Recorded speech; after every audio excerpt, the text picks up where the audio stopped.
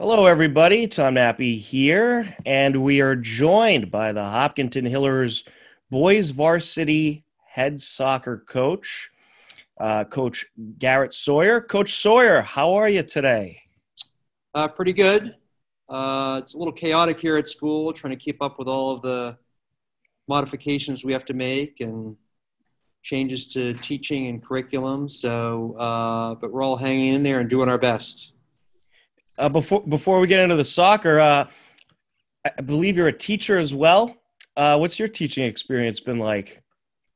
Yeah, this year has been different. Um, you know, the, the restrictions kind of limit uh, the, the, things that we could normally do in the classroom. We're not seeing the students as often. So it's obviously not an ideal situation, but I think all things considered, um, there are certainly some uh, benefits to uh, being in school and, and being together as uh, students and teachers. So um, it's going okay. That's terrific. How's how's your experience been using this uh, e-learning technology? You know, we got uh, we kind of got a preview of it in the spring when we first went remote. So I think that helped everyone kind of get used to some of the technology for uh, meeting with students remotely and, and, and uh, other platforms that we've been using more frequently this year. So it's actually been a little bit smoother starting out this fall than if we had kind of started out from the beginning. Well, you've all done a great job at dealing with these crazy circumstances. Uh, but it's certainly great to see uh, some of these sports teams back on the field after a very depressing cancellation of the spring season. It's good to see soccer and field hockey back in action. Uh, so we're a couple weeks into the season. How has your uh, experience been so far this year? And I understand that uh, the practices are, I'm sure, a little different as you have to split things up a little more. Yeah, you know, you mentioned it is exciting to be back on the field after what happened to the spring season. So I think you know, without a tournament to play for or a league championship to play for or the usual schedule, we're trying to celebrate just participation and being together as a team and competing. Soccer certainly doesn't look the same. Practice, uh, there are limitations. But I think overall, guys are happy to be out there, to be part of a group of players, to compete, and to play a sport that they really enjoy playing. So, despite some changes to the um, the game and the way we practice uh, and the schedule. Um, we're having fun. That's great. And obviously, uh, as you mentioned, soccer looks a little different this year. Uh, no corner kicks, no throw ins. Uh, how was it for you transitioning to these new uh, COVID 19 rules, I guess you could call them? You know, I think that the biggest transition is with the actual games. Um, it didn't change many of the exercises that I might do or uh, activities I might do at a practice. Um, we still practice corner kicks; they just look different. You know, we still practice throw-ins. Uh, we still do a lot of the same things. So practice doesn't look that different, right? Um, in terms of like what they do as soccer players. Um, I think what looks more different is the game. Without the corner kicks, uh, without the ability to build defensive walls, with a lot of new um, fouls being called, what we call COVID fouls uh, near the goal, and without headers, the game feels a lot different. So overall, I mean, you've played two games so far this season, um, 0-2 and 2 overall. Uh, how has it been for the players transitioning to these rules? Is there anyone in particular that had a tough time? I know it's been a little bit tough for everybody, but was it a easy transition you would say for the players, or a bit of a tough transition? I think that, I think I would describe it as a frustrating transition. um, you know, when we're playing the games, a lot more whistles, so it really disrupts the flow of the game, and it's like breaking habits and right. these necessarily habits you want to break either but you know even just like putting a hand on someone to maintain balance or keep them from backing into you or just little bumps that are just a natural part of the game it's leading to whistles and frustrations for coaches and players I, I you know and i don't think the refs are enjoying it either um, so you know, I would describe it as a frustrating transition, not a difficult one or an easy one. It's just frustrating. Yeah, I mean, soccer's always been one of those sports you kind of play on. There's very little interruptions. Um, the only interruptions really are the very rare timeout or when the ball goes out of bounds for the most part. But now you're getting these close contact fouls and a lot more whistles than we're uh, used to seeing. Yep. Uh, uh, but is it just me or? To, I mean, obviously the officials had a really transition as well. Uh, but comparing week one to week two, it seems that uh, everyone has transitioned a, a, little bit more. It seems a lot more steady in week two and a lot less confusion. Yeah, maybe less confusion uh, because after going through it uh, through a, a, slate of weekend games, I don't think anything surprised my players as much uh, as did that first weekend. Right. And, you know, and coaches have had a chance to ask some questions of the referees. And we're starting to get used to how it's going to be called and why there are calls. So I found myself in that second week of, of games more often saying, yeah, they had to blow the whistle there, not why did they blow the whistle? Trying to explain it to my players. Uh, I don't think they're any less frustrated, but they're more understanding of why the whistle was blown. So I think there is this kind of getting used to it stage that we're going through, and each week it gets a little bit more understandable, I guess, although not necessarily easier. Particularly, you know, the boys play a very physical game. They head the ball a lot. They use their bodies a lot, and it's so hard to get away from that.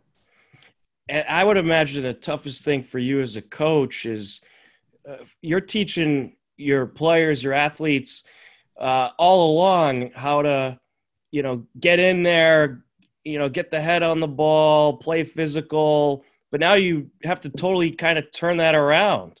And that must be tough for you as a coach. I, I think to a certain extent, although in some ways it gets them to improve in areas that are a little bit different that I think are important. Like mm-hmm. sometimes the players tend to over defend and get too physical when they're defending and that leads to free kicks for the other team near our goal.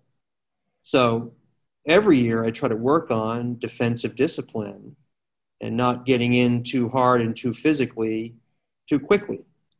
Um, so in some ways, it's improving in areas that they, they can improve on uh, as they try to limit uh, what they're doing on the field. The same with possessing the ball. I think because it's a less physical game, they uh, have to depend more on possession part of the play.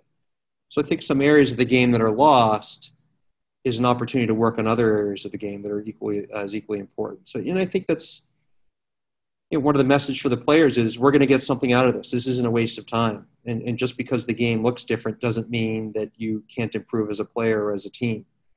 So um, while they're unlearning some things, they're better learning other aspects of their game. Yeah, and, and I think um, it, they're certainly going to get a lot out of this just being out there and uh, staying experienced in competitive soccer. It may not be traditional soccer, but certainly a, a lot of skill sets that they would typically use, they have to use this season. No doubt.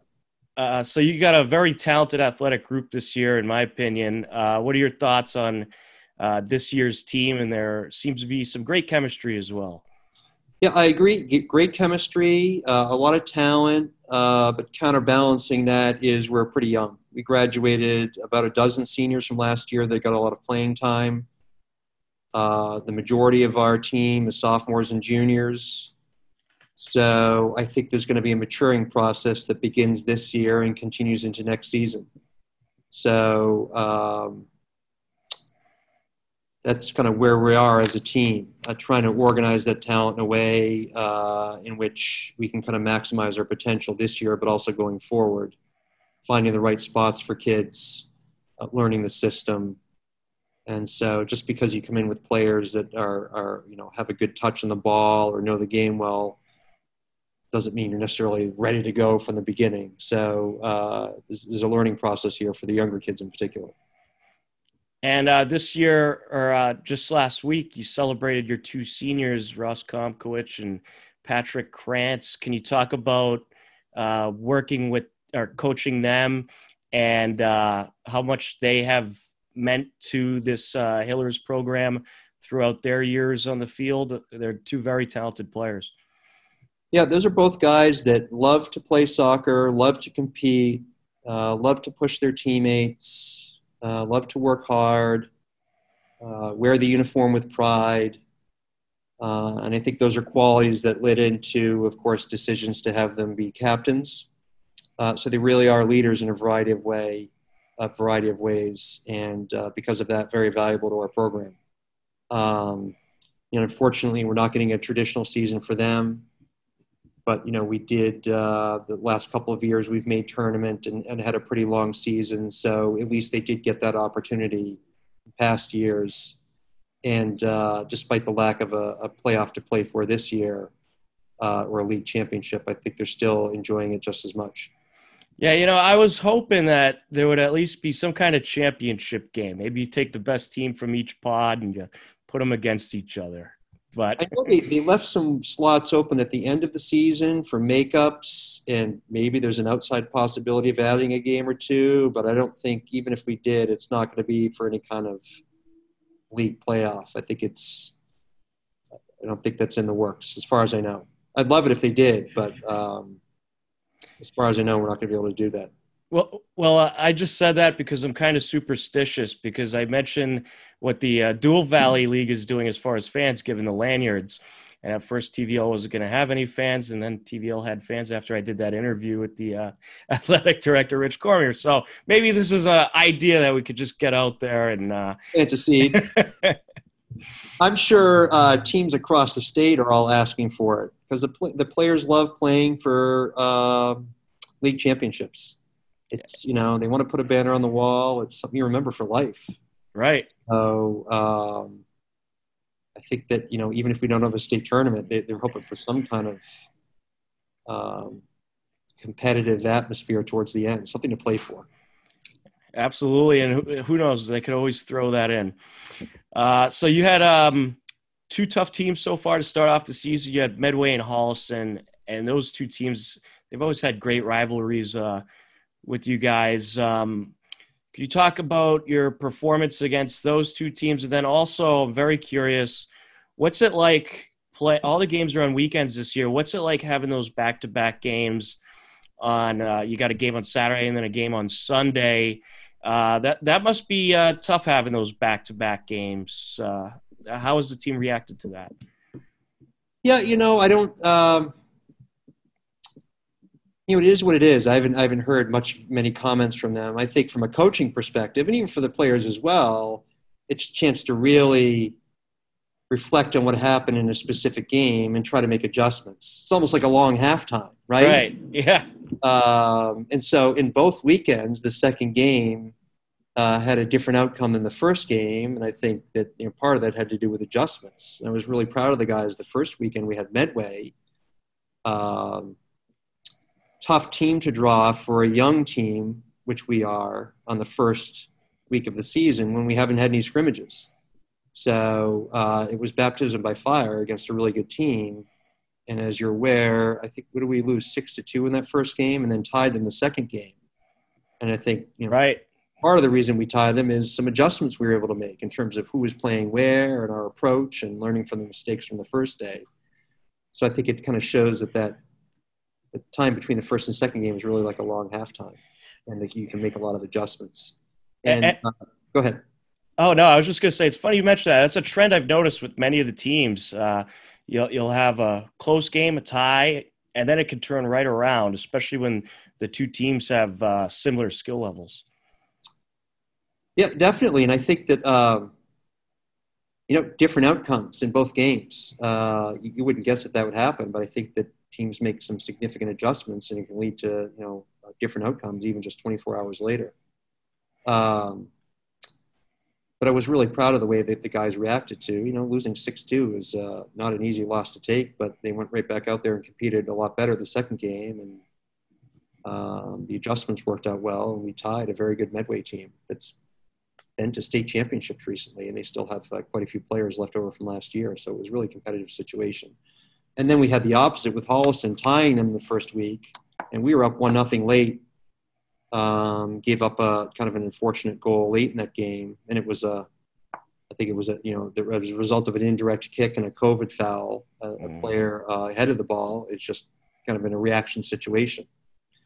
Um, but then the second game, I think that uh, they played more direct, uh, trying to uh, feed their forwards over the tops of our, our, our defense, and we didn't react very well to that. Um, and so the adjustment that they made worked out, I think, better in their favor, and uh, some of the adjustments that we made from the first game didn't work out quite as well. So, seeing the best and the worst of having that 24-hour difference between the first and the second game. Right. And for those that don't know, we'll just throw up the results here. Uh, the boys soccer results, as you could see, uh, two six to two loss of Medway to start off the season. Then you turn around, get a nice tie, and then uh, a great game against Holliston at home last week, one to one tie, and then uh, you unfortunately fell uh, four to nothing the next day. It looked like uh, Holliston just got things going early in that game. I was uh, doing the girls' games at the time, but I was kind of following along on Twitter. From what I saw, I believe Holliston netted three of their goals in the first half. I think it was in the first quarter. Ah, Yeah, they were really early. Um, because I remember thinking to myself, boy, I wish I had that timeout we used to have. Uh, you, I haven't been a big fan of the timeout. I think it, you know, uh, disrupts the flow of the game. It's just not traditionally part of soccer, but it is part of high school soccer in Massachusetts. hmm And that was a time after they, you know, scored several goals early where I was hoping, wish I had a timeout to bring them in and try to reorganize and uh, in the back. Um, but by the time we had that uh, imposed break after uh, 20 minutes, it was it was almost too late. right. But then we settled in, and for the rest of the game, it was it was even. So um, we were able to make the adjustments after we had that uh, break at the quarter of the game. But we got down too early, too soon, and it was just too big of a hole to dig out of. Yeah, and that's the thing about soccer. You get down by those three goals, and know, that's just tough to overcome. But uh, they held steady the uh, following three quarters and netted a goal themselves. Um, I'm sure they would like another uh, chance at Holliston, but they're, they're a program too that had a, has a lot of talent. Went pretty far last year. Yeah, similar to Medway, uh, you know, playoffs and a good playoff run every year. They're a good program and uh, experienced, knowledgeable coach as well. So it's always tough competition. There's a little bit of a, a rivalry there as well with our, our neighbors. Um, so again, similar to Medway, a tough game early in the season where we didn't have much of a preseason or scrimmages. We have a fairly young team. Um, and again, it felt like baptism by fire for some of the younger kids. Um, and I did I did mention yesterday it would be nice if we got a couple of extra games added on at the end of the season. Who would they like to play? And several of them said we'd, they'd love another shot at Holliston. So uh, That'd be great. I think you, you're right about that. That would be great. That's always a fun matchup. Um, speaking of that game against Holliston, the home game, uh, Owen Schnur had a nice goal in that game. He's one of the captains this year, and uh, I think his uh, dad was very happy that he got to call the action that game. It's, Uh, could you talk about uh, Owen Schnur's performance this season? He seems like a player that's just gotten better and better every year. yeah, he's a you obviously very confident on the ball in the middle of the field. Um, can take players on one v one uh, quite well and quite effectively, and really uh, has a knack for goal scoring and to strike the ball well from distance. Um, this year, with all of the COVID fouls, is giving us a lot of opportunities to get shot relatively open shots on goal. Um, and he scored a couple of those this year uh, off of indirect kick plays. Um, some of those goals have been 35, 40 yards out because he's uh, such a good shooter of the ball. But uh, even in a normal year, under normal rules, last year he was our highest goal scorer as well. He's a very good, very good goal scorer, very confident on the ball, likes to make plays with other teammates. Um, so um, just a, a great player to have on the team. Yeah, he has quite a leg, that's for sure. Uh, so with these younger players, have they had a? Do, would you say they the younger players have had more of a tougher time than the older players at transitioning to the new rules, or has it been kind of the same across the board? Yeah, probably the same from that perspective. I think for the younger players, the bigger adjustment is getting used to the demands of varsity soccer and the TVL. It's very, very competitive. And um, the athleticism, uh, the quality of tactics, the speed of play, uh, you start to realize that uh, even a small error can quickly lead to a goal. And so some of the teaching points that I make in practice uh, get reinforced in games uh, because you know the mistake in practice doesn't lead to a goal for the other team in the way that it does in a game. So the games become the teacher this fall for a lot of these younger guys. I think that's the biggest difference between the younger guys and the older guys. Uh, quite a few of the younger guys haven't played uh, at the varsity level um, yet. So, but I don't see any difference in the adjustment to the rules. All these players have been good. playing soccer a long time. I think all are trying to deal with breaking habits and adjusting the way they play. Yeah, well, it's been fun to watch this team. A lot of speed out there and some good athleticism, and I think there's a number of players that we look forward to watching over the uh, next couple of years for sure. Uh, what is the what are the practices like at this point in the season? Is it limited to how many players you can have in the practice, or how you you got to split them up more? Uh, what, what are some of the limitations? I do split them up uh, more, um, but I think you know uh, I like to do uh, I like to make it as competitive as possible, make it as game realistic as possible. So we do a lot of uh, small sided exercises with teams going at each other, and I can just set up multiple fields or sub kids, sub different groups in and out. Um, so I think that the competitiveness of practices, the tactical and technical demands on the players haven't changed that much. And um, this season, you got Patrick Krantz for one more year, uh, tending the net, and uh, he's done a great job in goal. Uh, and the only other goalkeeper I see on the roster is Max Nye. So it's looking like he might be the next guy. How is he coming along, and uh, how do you think he's going to be uh, heading into next year? You know, lucky for Max, he gets to work with Patrick this year. Um, Patrick, uh, one of his strengths is I think he kind of willingly takes on a teaching mode. He's very um, almost professional in his approach to being a goalkeeper. He's been doing it a long time. Loves to train. Loves to talk about goalkeeping. Um, I think he'd like to play it in college if he gets the opportunity and so I think he's enjoying working with Max and trying to pass on some of his knowledge of the game. Um, so I think Max is kind of in an ideal situation where he's able to learn from a really experienced, uh, really good goalkeeper uh, who likes to take the time to teach. That's terrific. Yeah, he seems like uh, he would be someone that's very good for a younger guy to learn under for sure. Yep. Uh, seems to have some really good leadership skills. Uh, what has been has your method this season changed at all as far as substitutions? Uh, obviously, this season doesn't have the tournaments or anything like that. You still want, of course, go out there and try to win as many games as possible. But uh, uh have you uh, substituted maybe more often than you would just to get kids out there with the fact that there's less games this year? Uh, I wouldn't say there's been a big change. I think that the guys still want to play to win. And I think that, you know, uh, I think some of the older and more experienced players are, are, are, still getting more playing time. But in any year, when I have younger kids in the team, I try to find opportunities to get them in. You know, um, maybe against a Medway or Holliston, it's a little bit more challenging because uh, the competition is so strong.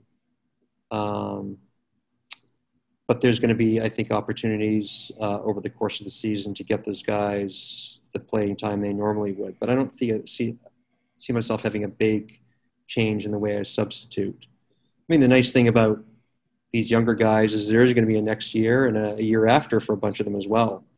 Um, and I don't want to put them in situations that they're not quite ready for either. Right. Uh, so I don't, I don't think there's a lot of difference in the way I'm substituting and, and, that's just the analyst part of me asking this question. It, I'm just always curious about how coaches approach situations and if anything changes uh, with, of course, these crazy circumstances that we have this year. So uh, it's interesting to hear everyone's perspective on that. Mm-hmm. Uh, so, uh, through there's been four games so far this season. Has there been any players that you could think of off the top of your head? Uh, and obviously, there's a lot of talent on this team, but has there been any players that have really stood out that you look at and you say, "Wow, this guy really improved heading into this year"? Uh, boy, in terms of, uh, you know, I haven't necessarily seen um, uh, improvements that I would consider surprising. Uh, you know, all the guys that were with me are a year better. Right. Uh, a lot of them play year round for town or club teams, so they're just kind of steadily improving on that kind of upward arc that comes from putting time into the sport. Um, I guess what most surprised me was the number of young kids that were kind of, I think, ready to start to transition to the varsity level. I think I have nine sophomores, which might be the biggest number I've had before. Mm-hmm. They did have a smaller senior group to begin with, so that opened up a few more slots. Uh, but in general, I, I probably wouldn't, if I, if I had to guess, would have predicted I would have had as many sophomores on the team. So that's where I kind of think there was the biggest jump up from many of these players. Uh, but certainly, guys are standing out for the quality of their play. You mentioned Patrick Krantz. If you watch a game, he stands out for his saves, his vocal leadership, his confidence on the field. Um, Tora Ito, who's a junior midfielder, he was our team MVP last year. Uh, I do think one of the reasons we struggled against Holliston was he was out with a foot injury. Um, and so his absence was felt uh, because he does such a great job of controlling the midfield and maintaining our possession and switching the field of play. So he certainly stood out. Owen, with the number of goals that he scored, uh, has stood out as well. Um, so those are some of the guys who have stood out. Yeah, is fun to watch. A lot of speed uh, running around in the midfield area. Uh, so you got uh, Norton coming up. Uh, is there anything that you could tell us about your upcoming opponent, Norton? You know, uh, very well coached. Um, although, uh, you know, interesting to see how they adjusted. They normally play a very physical style. Uh, they like to score goals off of corner kicks and throw-ins. Uh, but you know, the usual uh, corner kicks and throw-ins have been taken away. So uh, I'm not sure what to expect from Norton because this, I think, I think the adjustments might be bigger for them tactically than maybe for some other teams, um, because they play that physical style, look to score off of the throw-ins and the restarts near the goal. Uh, but you know, we can always expect a uh, a fit team, uh, a well coached team, a well organized team, and a team that's competitive. And again, similar to Medway and um, Holliston, you know, recently perennial, um, perennially in the state tournament and often making a deep run. So it's going to be tough competition again. Well, we're looking forward to it. it should be a great matchup uh, against Norton. And I was curious, uh, do we know if uh, Ross Komkowicz and Patrick Krantz will be playing any soccer in college yet? Uh, I'm not aware that Ross is looking to play soccer in college. Um, and he said, uh, I think basketball might be his number one favorite sport. Yeah, he's he's good at that too. yep, he's got you know, and you know, one of the reasons he's effective with soccer is just generally a good athlete, and so. Um, but I, I don't think uh, that he's looking to play soccer in college. But Patrick definitely, I think he'd he'd like to play, um, and that's kind of part of his college search. Although he he did say that the college choice for the academics is the primary focus for him uh, I think he'd like to major in business and go to a business school. So I think that the soccer piece and where he might play soccer is a little bit secondary to the school choice. But he certainly has the, I think, talent in the classroom. I've had him as a student for a couple of years, as well as on the soccer field, to maybe um, put those two pieces together at a good school. Well, I have a feeling whatever school he goes to, as long as they have a soccer program, he'll be there. Uh, he's a tremendous athlete.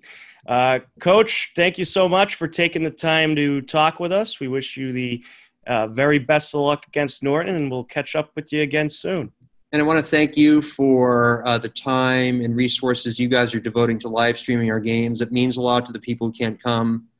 I know uh, my own father, who likes to come to my games, has uh, really enjoyed it and uh, commented that the quality of the HCAM live stream is the best so far. So I really appreciate your support for the program. Well, we uh, try to up the quality, especially for this season, since unfortunately the fans are limited. So we're happy to get these games out there for the community to see, and we certainly enjoy doing it. Great.